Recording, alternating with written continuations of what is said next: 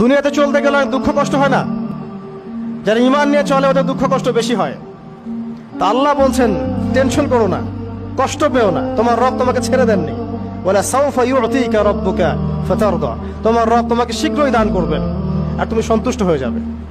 আলাম ইয়াজিদকা ইয়াতীমান ফাআওয়া? আল্লাহ বলছেন, আল্লাহ কি তোমাকে ইয়তিম রূপে পাননি? এরপর আল্লাহ কি তোমাকে প্রতিপালন করে বড় করেননি? ওয়াজাদাকা দাল্লান ফাহাদা। আল্লাহ কি তোমাকে পথভ্রষ্ট পান নাই? তোমাকে আল্লাহ পাক হেদায়েত দেন নাই? তো আল্লাহ যে এগুলো করেছেন, সে আল্লাহ তোমাকে পরকাল ইনশাল্লাহ ভালো রাখবেন।